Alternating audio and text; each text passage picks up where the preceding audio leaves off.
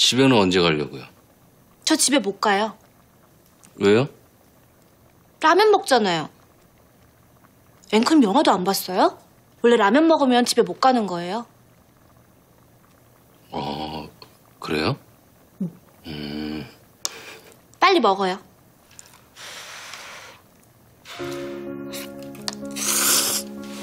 친한 친구였거든요.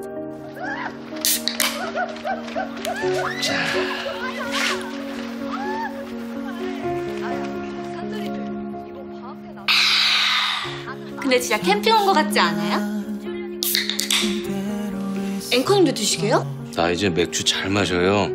짠.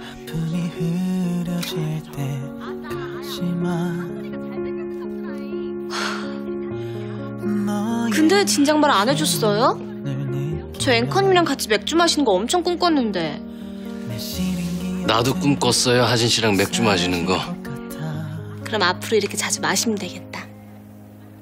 아, 큰일 났네. 왜요? 자꾸 욕심이 생겨서요. 무슨 욕심이요? 하진 씨를 세상에서 제일 행복하게 해주고 싶다는 욕심. 아, 나도 큰일 났네. 하진 씨는 왜요?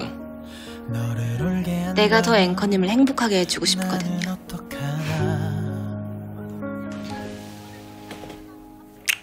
눈물이